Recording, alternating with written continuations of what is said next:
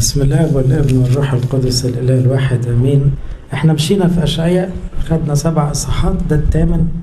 هناخد منه آية واحدة بعنوان اختم الشريعة بتلاميذي. آية غريبة شوية. أو معنى غريبة وإيه علاقته بلتكن مشيئتك؟ هشرح برضو الفكرة باختصار وبعدين ناخدها إيه حتة حتة. الآية في أشعياء 8 16 بتقول سر الشهادة واختم الشريعة بتلاميذي إيه معنى الكلام الغريب ده؟ بالبلدي معلش ببساطة كده معناه امسك على الإنجيل كويس قوي وأكد الإنجيل بالتلمذة. أو خلي الإنجيل ده يمشي على رجليه من خلال التلاميذ. خلي الناس تعيش الإنجيل عشان يبقى ختمت الشريعة بالتلم... بالتلاميذ. يعني إيه؟ يعني ببساطة. ربنا يسوع علمنا تعاليم جميلة قوي وناس كتيرة ممنوعة إنها تمسك الإنجيل. في الدنيا كلها. الشيطان منعهم يمسكوا الإنجيل. طب مش هيعرفوا التعاليم دي. وما عندهمش فرصة يشوفوا المسيح بعينيهم طب إيه الحل؟ الشريعة مسرورة يعني زي سرة كده وقافل عليها. والشريعة مختومة يعني عليها ختمة محدش قادر يقرب منها. طب إيه الحل؟ الحل تلاميذ. يعني إيه؟ احبوا اعداءكم لما واحد يشوفها في شخص يبقى قرأ الإنجيل كله. باركوا لعينيكم. لما واحد يعرف يبارك اللي بيلعنوه يبقى فتح الإنجيل غصبا عنهم وخلاهم يقروه لما واحد يبقى متواضع في الزمن ده تواضع حقيقي يبقى ختم الشريعة بالتلمذة. إحنا حفظ الكتاب عندنا مش بالصم مش بالحرف. إحنا ختم الشريعة عندنا بإيه؟ بالتلمذة. يعني عيش الإنجيل حتى لو ما حفظتوش صم. لو مش حافظ آيات كتير ده ما يعطلش دخولك السماء. اللي يعطل دخولك السماء إنك تكون مش عايش الكلام. فاختم الشريعة بتلاميذ يعني مش مهم الناس تحفظ كل النص بالحرف لكن مهم إن كل الناس يتلمذوا على الكلام ده ويعيشوه. يبقى لما بنقول لتكن مشيئتك أنتوا خدام كلكم. ربنا عاوز من خدمتك إيه؟ أهم ما في خدمتك إنك تطلع من تحت إيدك تلاميذ. مهما كان هتقول طب ده أنا راجل غلبان ما بقلاش في الوعظ. ده أنا ست عجوزة مش عارف. ده ما يأثرش على التلمذة ما هي الأم هي اللي بتطلع قديسين والأم بتلمذ عيالها. لما يقول الإيمان الذي سكن أولا في جدتك لؤيس وأمك إفنيكي وهو ساكن فيك أيضا. يبقى التلمذة جت عن طريق الأم قبل ما تيجي عن طريق بولس الرسول. لما ربنا يسوع جاي يودع تلاميذه. آخر وصية قالها ما هي وصايا المسيح تعبر عن مشيئته. إحنا بنقول له لتكن مشيئتك. قال شعار مهم جدا. قال اذهبوا إيه؟ وتلمذوا جميع الأمم. عاوز أحكي لكم حاجة حصلت من أربع أيام. إحنا كنا هنا مع أباء السودان ومع أباء من العشوائيات وخدام المناطق العشوائية في دور, التنمية. كنا أيام الثلاث والأربع والخميس. وفي الآخر بتوع التنمية عملوا لنا ورشة عمل. إن إحنا نحدد بدقة أهم المشكلات اللي في المناطق العشوائية. عارفين كل ورشة كانوا عشر ورش تقريبا أغلب الورش نتج عنها أهم مشكلة في المناطق العشوائية كانت إيه؟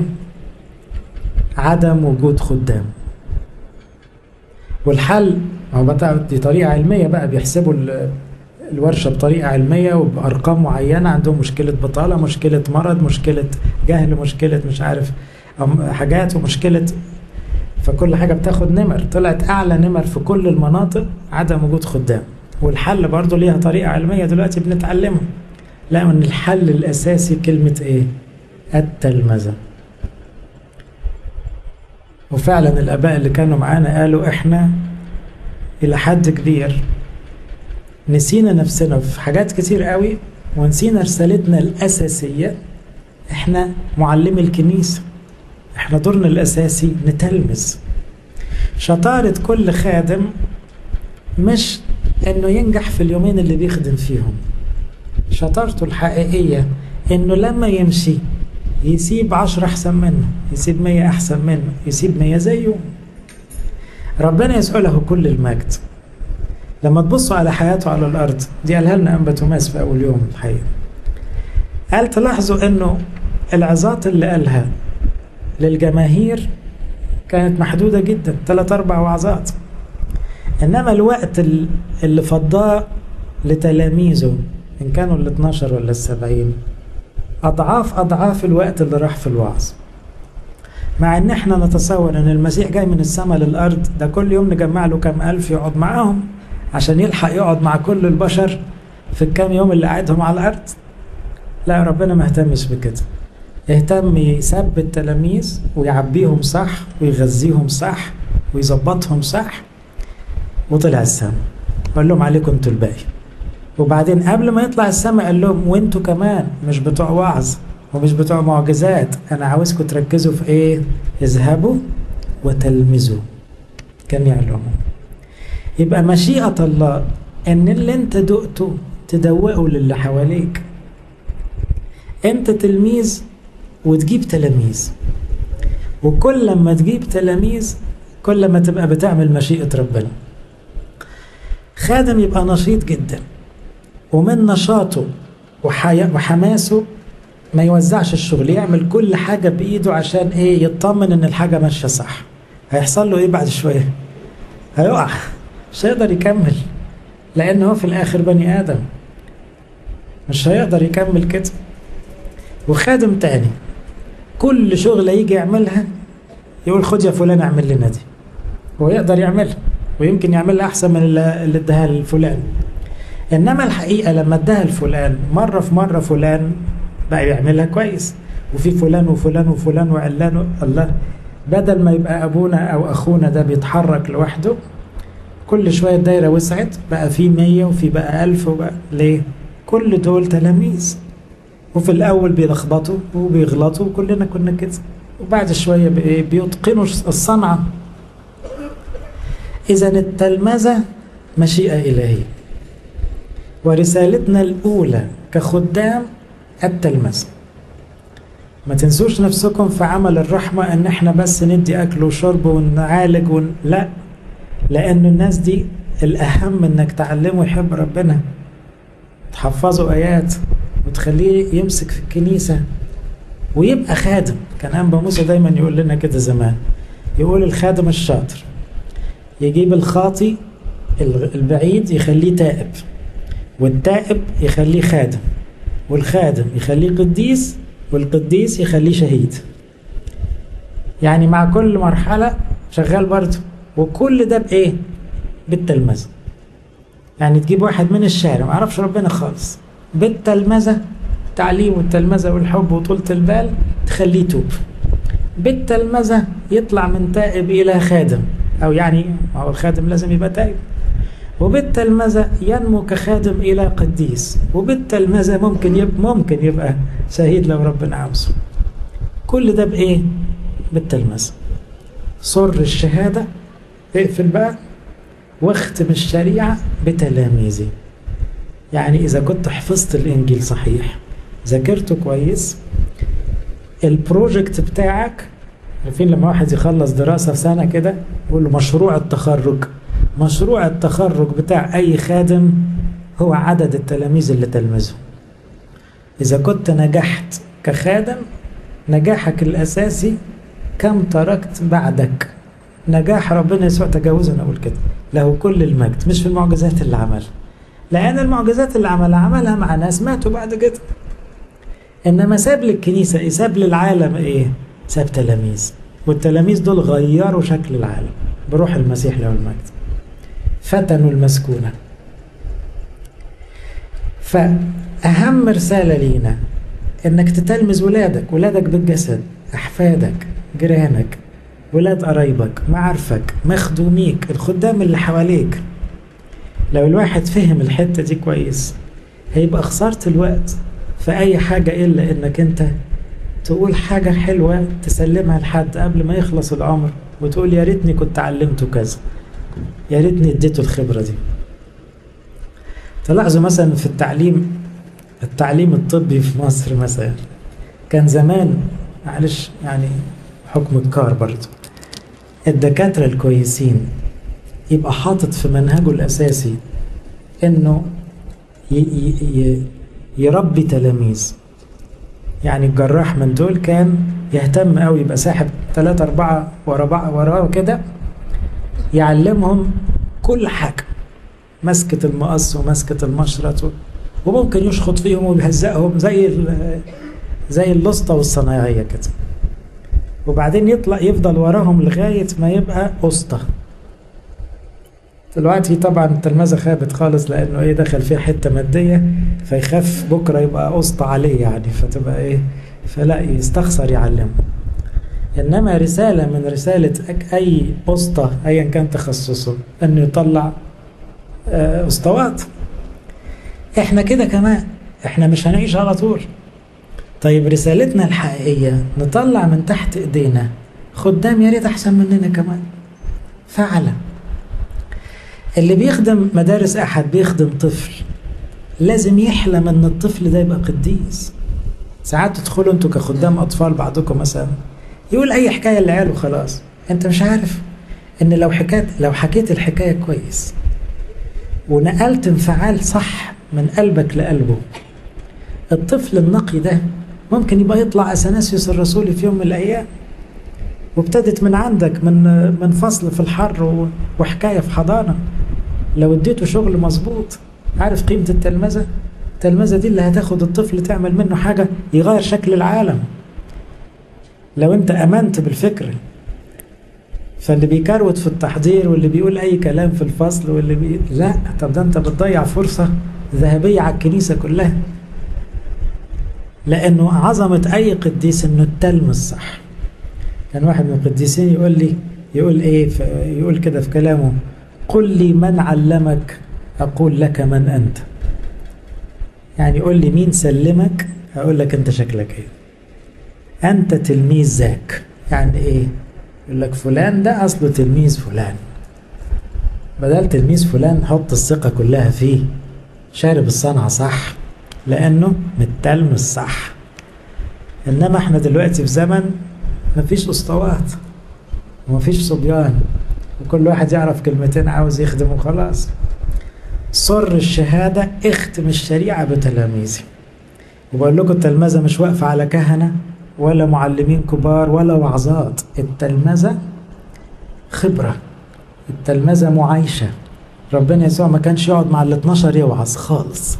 كان يوعظ مع الجموع لكن مع ال 12 يأكل ويشرب ويحكي ويسأل سؤال ويفتح مناقشة زي ما هنشوف دلوقتي. إنما في ثلاث سنين بقوا تلاميذ تمام. تبص على بطرس بعد كده تلاقيه نسخة من المسيح. توما متى أندراوس يعقوب اللي هم كانوا آخر لخبطة قبل كده. شربوها تمام. فتلاقي زي ما كان المسيح يعمل تلاقيه يعمل. نفس المواقف بالظبط نفس قصة طبيسة مثلا.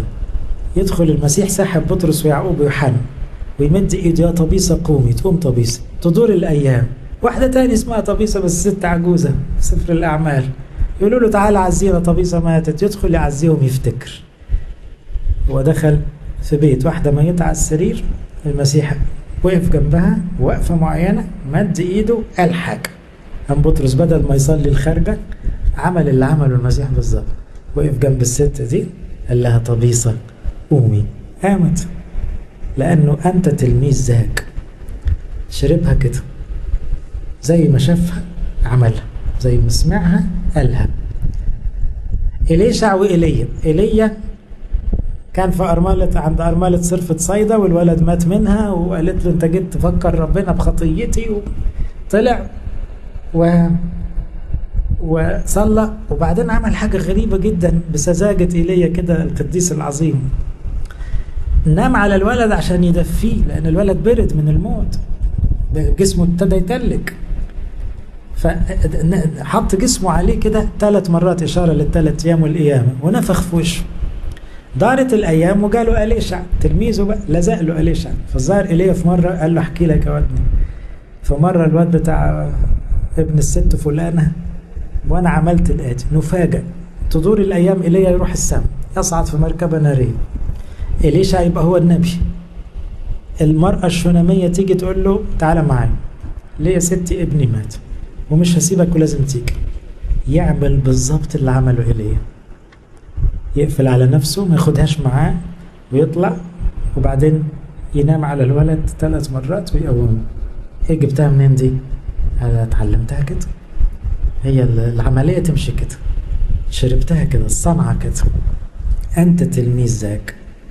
إحنا نشتهر ونفتخر ككنيسة قبطية إنها كنيسة مبنية قوي على فكرة التلمذة على الاستلام كلمة التقليد أو الاستلام. استلمناها كده. يقولوا أثناسيوس لما وقف قدام أريوس. وأريوس بيفتخر بعقله وذكائه وبيقول يا جماعة الآية صريحة. أبي أعظم مني. يبقى الآب طبعا مختلف عن الابن وأعظم منه. فوقف اثناسيوس الصغير الشماس الغلبان ده؟ وسط 318 عمة قد كده. قال له استنى عندك. ما استلمناهاش كده. ما بتتعملش كده. العملية دي ما بتتعملش كده. ما بتتقالش كده. ما بتتفهمش كده. أبويا سلمهاني غير كده. أنت فاهمها غلط. إذا التلمذة هي اللي تشرح الإنجيل. آيات كتيرة قوي ما تتفهمش غير لما تشوفها في حياة شخص. تفهم تتعمل الآية دي إزاي لما تشوفها في شخص. عشان كده زمان لما كانوا يعلمونا الوعظ يقولوا إيه؟ قول آية فكرة حكاية. عاوز تقول وعظة كويسة؟ قول الآتي آية فكرة حكاية. يعني إيه؟ قول الآية. اطلع منها بفكرة اشرح الفكرة والآية بحكاية. خلاص انت وعظت وعظة كويسة ليه؟ من غير الحكاية ما تتفهمش الآية. من غير الحكاية ما تتفهمش الآية. فاهمين الفكرة؟ وده منهج المسيح له المجد. يقول حاجة ويحكي حكاية. لأن الحكاية تلمذة لأن الحكاية عبارة عن حياة. شخص عاش الفكرة عاش الآية. فالعيشة هي اللي بتشرح. إحنا ليه غاويين سنكسار وقصص قديسين؟ لأنه دول اللي حكوا لنا الإنجيل يتعمل, يتعمل إزاي؟ يتعاش إزاي؟ فما بقتش الآيات صعبة ومستحيلة وغريبة لا عندنا ملايين عاشوا الكلام ندخل في النص. فأشعية 8 يقول إيه؟ يعثر بها كثيرون ويسقطون فينكسرون ويعلقون فيلقطون. سيبكم الحتة سر الشهادة اختم الشريعة بتلاميذي. يعني اربط على الكلام كويس احفظه كويس ذاكره كويس وبعدين روح انقله انقله بحياتك. عيشه لولادك. فاصطبر للرب الساتر وجهه عن بيت يعقوب وانتظروا شوفوا بقى التعبير اللي جاي. اللي فات ده رسالة سماوية بتقول لك سر الشهادة واختم الشريعة بتلاميذ. يقوم الرد يقول إيه؟ ها أنا ذا ها؟ والأولاد يعني إيه؟ أنا صريت على الشهادة وختمت الشريعة وأدي العيال أهو أدي التلاميذ أهو. يبقى كل واحد داخل في السماء لازم يكون في ديله عيال. لو ديلك فاضي في مشكلة. عارفين لما تيجي تسافر يقول لك معاك حد في السفر؟ دايما كده الورقة بتاعة دخول أي بلد. المرافقين. لو معكش مرافقين تبقى مشكلة. ما يدخلوكش في السبب لو داخل لوحدك تلاقي إيه؟ ال security زمر كده و... ينفعش تدخل لوحدك. لازم يبقى معاك مرافقين. ها أنا ذا والأولاد؟ الأولاد معايا. أنت عندك عيال ولا لا؟ جبت ولاد لربنا ولا لا؟ ولادك دول بالجسد أو بالروح؟ هم دول رأس مالك. صوروا معايا أم بنطونيوس وهو داخل السماء. من 1700 سنة. شوفوا بقى هو داخل يوم القيامة في احتفال مهيب. يقول ها أنا ذوي الأولاد جارر ورا منه كام مليون راهب. تلاميذه. سر الشهادة اختم الشريعة بتلاميذي. كل دول مشوا على خطوات أنطونيوس. يا بخته يتوزن كل واحد بعدد عياله. عارفين في الريف عندنا ساعات إيه؟ العزوة دي إن اللي يجيب عشر عيال برضو إيه؟ خلف يعني. غير بقى شغل مصر الجديد. لا إحنا عندنا شغلنا في الكنيسة مش مهم تجيب عيال بالجسد مش مهم تتجوز من أساسه. المهم تجيب عيال لربنا. تولد لربنا. ده الشغل المظبوط. انت جبت قد إيه بقى؟ وما يجوز غير بالتلمذة إن كان خاطي يجي بالتلمذة إن كان تايب يجي بالتلمذة إن كان خادم يجي بالتلمذة يقول ها أنا ذوي الأولاد الذين أعطانيهم الرب. يفضل برضو العيال دي عطية من ربنا مهما كان هم هدية ربنا ليك. يعني حتى لو أمنوا على إيديك أو كبروا على إيديك برضو ده عطية ربنا. إذا لتكن مشيئتك عاوزين كل الكنيسة تلاميذ مش كل واحد في شعب الكنيسة بيتلمذ في ناس جوه الكنيسة بتسمع. في فرق بين السمع والتلمذة زي التلميذ الخيبان اللي يقول لك ذاكرت. ذاكرت يعني يبص بعينيه في الصفحة كده وقلب الصفحة. تيجي تسأله سؤال ما يجاوبش طبعا. يا ابني ذاكر. في فرق بين ذاكر واقرأ. مش كده؟ كمان كده. في فرق بين تسمع وتتلمذ تتلمذ يعني إيه؟ يعني يتهيأ لك وانت بتتفرج على النجار اللي ماسك المنشار الله دي شغلانه سهله قوي تيجي تمسك المنشار تعور صباعك أو تبوظ الخشبه خالص. وأنت بتتفرج شايفها سهلة. لكن لما تيجي تعملها لا مش سهل. وأنت بتسمع الوعظة آه ده كلام سهل ده كلام حلو. طبعا يحب بعض ونسامح تيجي تسامح تلاقيها صعبة قوي. تيجي تتواضع تلاقي الشغلة مش سهلة مع إن الكلام كان شكله سهل. فالاستماع شيء والتلمذة شيء. التلمذة يعني بإيدك بقى. اشتغل. ورينا فرجنا. آية جميلة في أشعية تقول كل بنيكي كان بيكلم الكنيسة أو أورشليم. كل بنيكي تلاميذ الرب وسلام بنيك كثيرا. كان زمان أي حد يدخل الإيمان يسموه تلميذ. ما كانش لسه في حاجة اسمها مسيحي. في لغة سفر الأعمال أي واحد يؤمن ويتعمد يسموه تلميذ. يقول لك في أعمال مثلا تسعة وكان تلميذ اسمه حنانيا يطلع أسقف بس اسمه تلميذ برضه. تلميذ يعني راجل متعمد راجل مؤمن ومتعمد اسمه تلميذ. كل بنيك تلاميذ الرب. هنعيش ونموت وإحنا بنتلمذ نتعلم. ونتعلم مش معناها نسمع بس نعمل نشتغل. اذهبوا وتلمذوا جميع الأمم عمدوهم وعلموهم ما أوصيتكم به. يبقى لتكن مشيئتك التلمذة هقول بقى أفكار في التلمذة باختصار. أول فكرة مهمة أوي التلمذة بالقدوة. التلمذة بالقدوة. فاكرين البطرك اللي راح يزور؟ مش فاكر مين صدقوني. واحد من القديسين الكبار في البرية. وبعدين راجل ضارب مشوار بقى في الحر وفي الصحراء عشان سمع عن هذا القديس ودخل قعد في القلاية. أبونا طبعا ما يقولش لأبونا البطرك ما, ما تدخلش. أهلا وسهلا. فضل ابونا الراهب القديس إيه يكمل قانونه في سره وقاعد كده ما بيتكلمش. فميلوا عليه بتوع الدير. يا أبونا ما يصحش. ما يصحش. أبونا البطرك. فقليتك قول له كلمة وخلاص. الراجل من اتضاعه جاي بيقول رايح آخد كلمة منفعة. قول حاجة. ما بيسألش فيهم. قاعد يكمل مزاميره وخلاص. زنوا عليه زيادة. فنبص لهم بصة كده قال لهم لو ما اتعلمش من سكاتي مش هيتعلم من كلامي.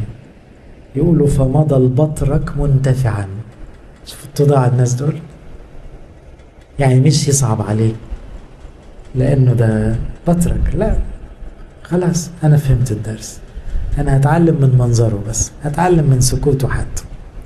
القدوة أهم من أي حاجة.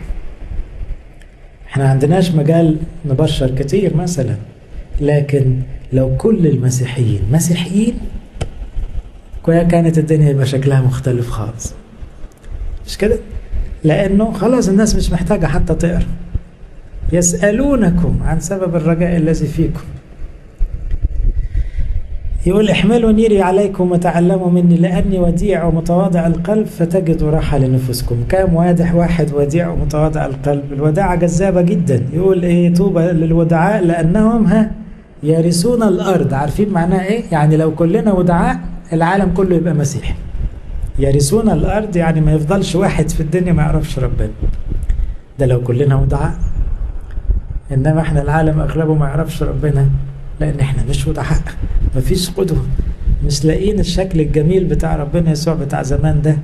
الطيب الوديع البسيط الذي لا يصيح ولا يسمع أحد في الشوارع. صوت وقصبه مردوده لا يقصف.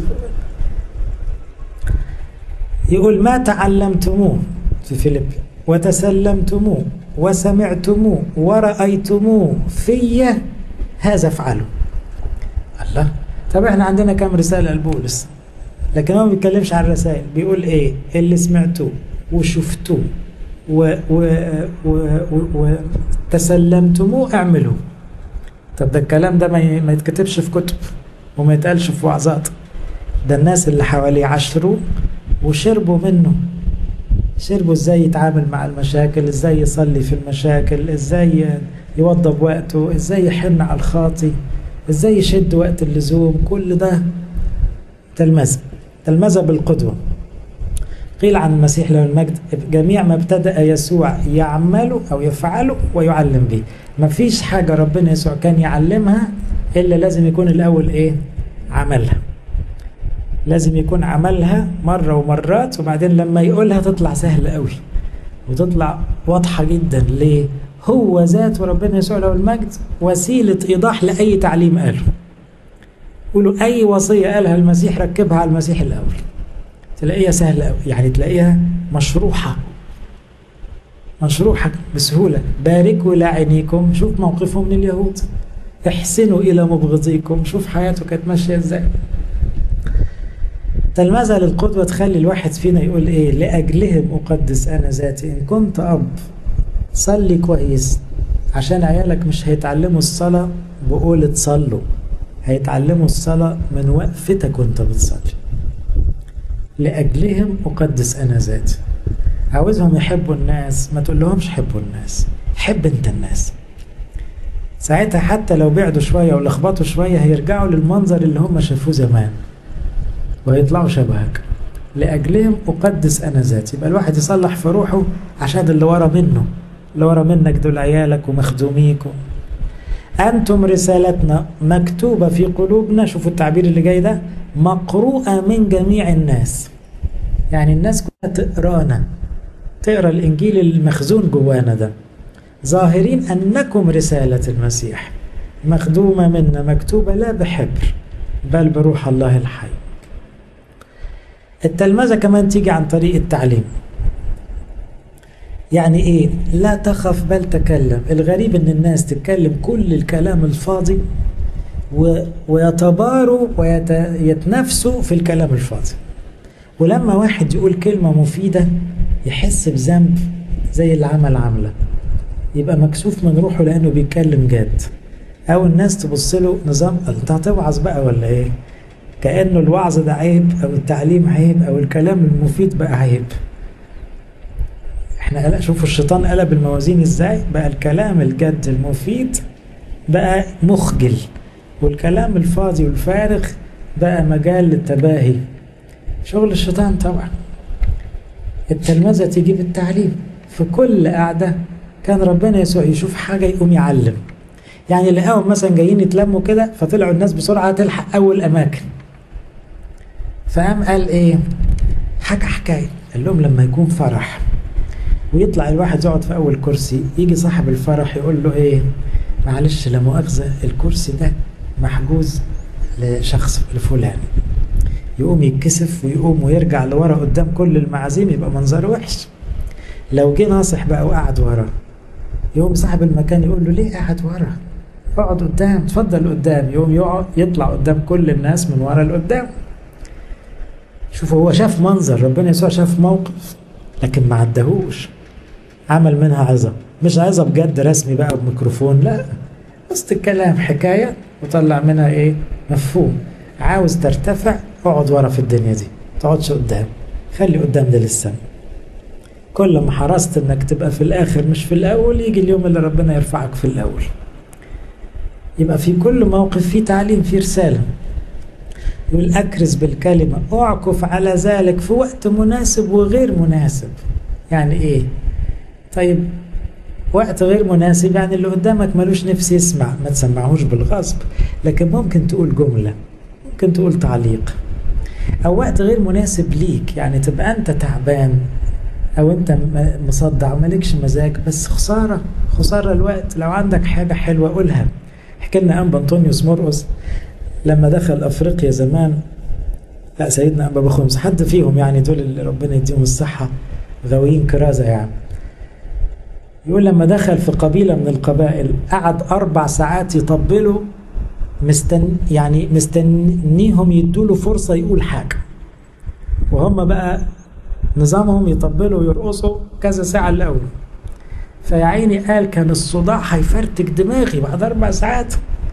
إنما جه دوري بقى بعد أربع ساعات. صداع إيه؟ هتكلم هتكلم ما صدقت. بس شوفوا هو وقت غير مناسب. هنتكلم فرصتنا نقول حاجة. وبعد سنين بقت القبائل دي مسيحية.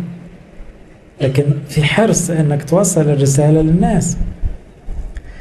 ننادي به منذرين كل إنسان معلمين كل إنسان بكل حكمة لكي نحضر كل إنسان كاملا في المسيح يسوع. شوفوا كم كل هنا. منذرين كل معلمين كل بكل لكي نحضر كل. يعني انت ما عندكش دقيقة تضيع بكل الطرق عاوز تجيب الناس بأي طريقة. إذا التلمذة عن طريق التعليم دي مهمة. إن كان أحد يتكلم فكأقوال الله يعني لما تيجي تقول قول كلام مفيد قول كلام ربنا. قول ربنا قال. بدل ما تقول مثل بلدي شائع ما تقول مثل من سفر الأمثال ولا سفر الجامعة قول الكلام اللي قاله ربنا أقوى من أي كلام. يقول مس فمي وقال جعلت كلامي في فمك. الشخص اللي يقول كلام ربنا يرجع يقول كلام الدنيا تاني. مش بتاعه مش مناسب. التلمذة والحوار. عشان تتلمذ اتعلم من المسيح إن الوعظ مش هو الأساس. ربنا يسوع كان بيتلمذ بقدوته كان يتلمذ بتعليم وكان يتلمذ بحوارات. حوارات يعني إيه؟ ينكش يحاور. يطلع اللي جوه الأول ليه؟ لأن الواحد ساعات لازم يكنس لمؤاخذة الزبالة اللي جوه الناس عشان يدخل حاجة كويسة. هتيجي تنظف إزاي غير لما تطلع اللخبطة اللي جوه الأول.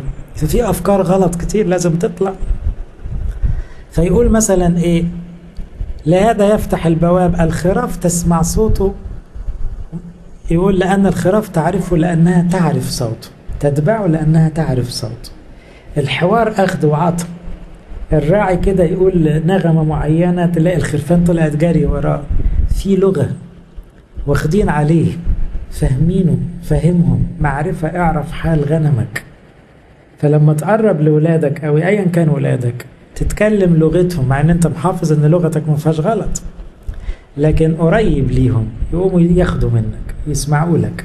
أصلك بتسمع لهم. التلاميذ كانوا واخدين على ربنا يسوع بدرجة واخدين عليه زيادة لدرجة مثلا مرة ربنا يسوع بيتكلم ويقول أنا لازم أصلي أتألم وأتصلب أم بطرس قال له استنى استنى تعالى شوية وقف الكلام وخده سحبه كده قال له إيه اللي بتقوله ده؟ عارفين حاشاك يا رب دي كلمة ناشفة قوي إيه اللي بتقوله ده؟ ما وراكش رجالة يعني ولا إيه؟ ما تقولش كده تاني حاشاك يا رب فقام ربنا يسوع بص كده للتلاميذ لقاهم اتغاظوا اتغاظوا ليه؟ بطرس عامل فيها يعني ريس قال إيه هو اللي خايف على المسيح. فقام قام قال له اذهب عني يا شيطان. انت هتعمل منظر قدام العيال. انك تهتم بما للناس ليس بما لله. لكن شوفوا الدالة وصلت لإيه؟ يسحب المسيح من وسط كلامه كده ويوقف كلامه والمسيح يمشي معاه ما عندوش مشكلة. ويقول له حاشاك في وشه. وربنا ما يزعلش. واخدين على بعض. هل انت تقدر توصل إلى دالة مع أولادك؟ طبعا في احترام لكن واخدين على الأخذ والعطاء. ولما رجعوا من من الخدمة يقول الكتاب أخبروه بكل شيء كل ما عملوا وكل ما قالوا. راجعين فرحانين زي العيال كده لما يرجع الطفل من حضانة يحكي لمامته كل اللي حصل. فالتلاميذ راجعين فرحانين قوي يحكوا ربنا بالتفصيل كل حاجة واخدين عليه وبعدين إيه يحاورهم إيه اللي مفرحكم يقولوا له ده الشياطين بيطلعوا مجرد بنقول اسمك بس. قال لهم أقول لكم في حاجة تفرح أكتر من كده. افرحوا إن أسماءكم مكتوبة في السماء. يبقى الحوار ده يطلع فكرة غلط بلاش منها. خلينا في الصح. التلمذة بالحوار تخلي تلميذ المسيح لابد أن يتعلم الحوار. يعني لما ربنا يسوع حاور السامرية قاعد يحايلها ويحاورها ويسألها وتسأله وياخد ويده السامرية العنيفة العنيدة اللي ملهاش عمار مع حد دي دخلت بمنتهى الذوق اتعلمت الأدب والحوار. راحت تقول للناس إيه مش تقول لهم تعالوا. لا ما فيش تعالوا.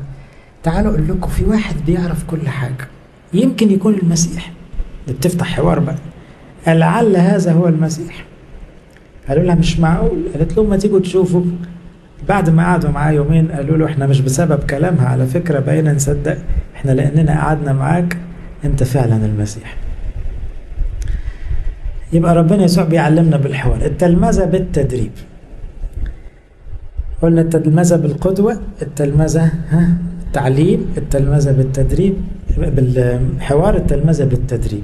يعني إيه؟ خلي ولادك يتدربوا على اللي اتعلموه. مأساة التعليم المصري إنه تعليم بعيدا عن الحياة. معلومات معلومات معلومات غالبا ما بيستخدمهاش الطفل في حياته العملية. التعليم الأجنبي في ميزة شوية إنه غالبا تعليم عملي. يعني اللي بيسمعوا وبيذاكروا بيمارسوا بأي شكل. موجود في الحياة العملية. فبيخلي التعليم مرتبط بالحياة. رسالة المسيح له المجد كلها حياتية ما هياش نظرية. فلازم اللي تسمعه تتعود تتع... تتعلمه تتدرب عليه تمارسه. ومن هنا فكرة التدريب كل اللي بنقوله يتعمل مش يتفهم يتعمل. مثلا يقول إيه؟ في كل شيء أريتكم هكذا ينبغي أريتكم شوفوا وريتكم. ده بولس بيعلم ولاده يقول لهم أنا فرجتكم إزاي؟ شفتوا فيا أنا في حياتي؟ ينبغي أنكم تتعبون وتعضدون الضعفاء. يعني بولس كان يسهر يشتغل في الخيم عشان يطلع فلوس يدي الغلاب في الوقت اللي كانت الكنيسة لسه في أولها خالص. يقول في كل شيء أريتكم. ويقول أعطوهم أنتم ليأكلوا. اتدرب. روح أنت وزع. روح اشتغل. روح حل المشكلة. روح حل المشكلة. أذكر سنة 81 لما السادات منع الأسر الجامعية. كنت أنا لسه في الكلية. فقعدنا مع سيدنا أنبا موسى و... وقلنا له يعني كان في مشكلة بقى مفيش أسر جامعية فقال هنتجمع كلنا في اجتماعات كده ونسميها اجتماعات ومفيش حاجة اسمها أسر. قلنا له عندنا مشكلة إن مش عارفين نجيب متكلمين عشان عشان يعني الدنيا قلق وبتاع. قال ليه تجيبوا متكلمين؟ اتكلموا أنتوا. إحنا لسه طلبة. قال لا لازم تتكلموا أنتوا. ما تجيبوش متكلمين. وأصر إن إحنا نتكلم. ده اللي علمنا كتر الكلام إنه اتدربوا اتكلموا أنتوا. يا سيدنا إحنا صغيرين إحنا عيال. هنوعظ لشباب. أوعظوا ما يهمكوش. هنا تتدرب تتدرب. ينزل الخادم من دول عمره ما قال كلمتين. يقعد يا عيني يجي له سهال الصبح وخايف وداخل البيت مش عارف يتلجلج والآية تطلع ملخبطة آخر لخبطة. معلش ما فيهاش حاجة شوية شوية هيعرف يقول كلمة ربنا. وهي ربنا هيشتغل بيه ويكبر. إنما لازم يحصل تدريب تدريب على الصلاة تدريب على الحب تدريب على الكلام تدريب على كل حاجة تتدرب عليها تقوم تطلع بعد شوية. يقول أنذروا الذين بلا ترتيب شجعوا صغار النفوس اسندوا الضعفاء تأنوا على الجميع. واحد غلط ما لازم يغلط مش لسه بيتعلم؟ لازم يلخبط في الأول شوية عادي. طفل لسه بيحبي ما لازم يقع. ولما بيقع بنقول له إيه برافو. بس بنقول له أنت خيبان ما بتعرفش تمشي. عادي. اللي بيتدرب على الحياة الروحية لازم يقع. ونشجعه ونقول له شاطر ما يهمكش قوم تاني قوم تاني. تدريب عشان تبقى الحياة الروحية يمشي فيها مش مش يقف. يقول بولس الرسول كلمة جميلة يقول أعرف أن أتضع وأعرف أن أستفضل في كل شيء في جميع الأشياء قد تدربت. أنا ما خدتهاش معلومات أنا اتدربت كل حاجة مشيت في حياتي بتدريب. فبقيت بعرف يعني إيه أستحمل بعرف أسامح بعرف أصلي بعرف ما أتضايقش بعرف أرمي على ربنا. مفيش درس من دول جه بالساهل. كل ده جه بالممارسة والتدريب. تلمذة بالتمكين. تلمذة بالتمكين يعني إيه؟ عارفين فكرة أنت متمكن متمكن يعني إيه؟ يعني يجي بعد وقت يبقى الواحد أصبح بيعمل الحاجة من غير تعب. يعني في الأول تتغصب على الصلاة بعد شوية تتعود على الصلاة بعد شوية تصلي من غير ما تاخد بالك. بتصلي انت سايب إيديك يعني من غير ما تفكر بقيت بتصلي. ليه؟ لأنك بقيت متمكن. في الأول تتغصب عشان تستحمل الكلمة الناشفة. بعد شوية تتعود على الكلام الناشف. بعد كده تبقى متمكن. يعني أول ما تجيلك الكلمة الناشفة تبتسم وتشكر وتقول كلمة حلوة لأنك بقيت متمكن. في الأول تبقى مش عارف تصوم. بعد شوية تتعود على الصوم. بعد شوية تتمكن. فكل حاجة في الحياة الروحية تبدأ بالمحاولة والمحاولة دايما معاها زق في الأول. وبعد شوية تتعود. بعد شوية تتمكن. تتمكن يعني تطلع منك الحاجة خلاص بتلقائي شوفوا بولس الرسول ما أظنش إن بولس ده كان بيحضر وعظات. حضر وعظات إزاي؟ ما بيحضرش. ده ما يدوس على زرار بس. في أي حتة تلاقيه فتح وكلام طبعا طلع لوحده والروح القدس شغاله. ليه؟ لأنه في الأول كان يمكن يقول أنا هقول إيه؟ أجيب حتة من داود على أجيب حتة من موسى كده وأركبها عشان اليهود يفهموا إن المسيح بتاعنا هو المسيح بتاعه. بعد كده خلاص. بقى متمكن. لأنه مشيت الحكاية بعد التدريب الطويل. بقى تلميذ متمكن. إحنا عاوزين ولادنا متمكنين. بحيث نرميهم في أي حتة ما نخافش عليهم. يسافروا أي بلد ما تخافش عليهم. يتعرضوا لأي مشاكل ما تخافش عليهم. يوسف العفيف ده كان متمكن. بعيد عن أهله وأبوه وناسه. وبعيد عن عن الناس اللي بتقول يا رب. وكل الفساد حواليه. بس متمكن من الطهارة. تتعرض عليه الخطية يوميا وبإلحاح وهو ما بيفكرش لحظة يغلط. مستعد يعمل أي حاجة بس ما يغلطش. ده إيه ده شاب متمكن؟ عفيف بجد؟ ليه؟ لأن جت بتدريب تلمذة مظبوطة. إله كل نعمة الذي دعانا إلى مجده الأبدي في المسيح يسوع بعدما تألمتم يسيرا. الحكاية يبقى فيها شوية وجع في الأول. هو يكملكم ويثبتكم ويقويكم ويمكنكم. عاوزنا متمكنين. فتبقى ما فيش خوف بقى عليكم يقول ذو الرأي الممكن. اللي هو يعني إيه رأي سديد رأي متمكن. تحفظه سالما سالما. يعني ده بقى ما فيش خوف عليه خالص. ليه؟ لأنه متمكن. نفسنا نوصل للمرحلة. نفسنا أولادنا يوصلوا لكده. تقول فلان ده أنا عندي ثقة فيه. الأول كان خادم صغير مسكته بس شغلانة صغير بعدين مسكته شغلانة كبيرة وبعدين بقى مشكلة وبعدين قلت له روح امسك المؤتمر. مؤتمر إيه اللي همسكه؟ روح بس خلاص. أنت واثق فيه بقى. ليه؟ لأنه متمكن. التمكن ده ثقة في الله طبعا خبرة مع ربنا. يعني محتاجين قوة من السماء لأن مش شطارة مش مجرد خبرة عادية. عشان كده قال لهم بعد كل اللي سمعتوه وشفتوه ما تطلعوش تبشروا إلى أن تلبسوا قوة من الأعالي. التمكن ده محتاج نعمة سماوية دايما. يبقى تاني ألخص وأقول إيه؟